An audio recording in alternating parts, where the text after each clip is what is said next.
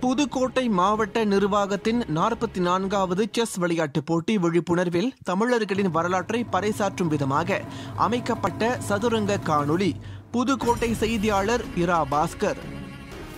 தமிழகத்தில் நடைபெற்று வரும் நாற்பத்தி நான்காவது செஸ் விளையாட்டுப் போட்டிக்கான பல்வேறு விழிப்புணர்வை ஏற்படுத்தி வரும் புதுக்கோட்டை மாவட்ட ஆட்சியர் திருமதி கவிதா ராமு இ. ஆப்பா அவர்களின் தலைமையிலான மாவட்ட நிர்வாகம் தமிழர்களின் வரலாற்றை பறைசாற்றும் விதமாக அமைக்கப்பட்ட சதுரங்க காணொளி அனைவராலும் போற்றப்பட்டு வருகிறது. புதுக்கோட்டை மாவட்டம் அதிக அளவிலான சதுரங்க விழிப்புணர்வுகள் ஏற்படுத்திய மாவட்டம் என்ற பெருமை பெற்றது.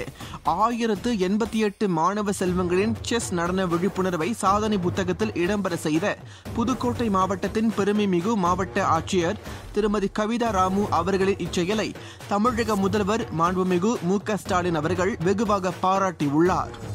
மேலும் மாவட்ட கலெக்டர் கவிதா அவர்களின் இச்செயலை சட்டத்துறை அமைச்சர் எஸ். ரகுபதி சுற்றுச்சூழல் அமைச்சர் சிவ வி. மையநாதன் உள்ளிட்ட பலர் வெகுவாக பாராட்டினர்.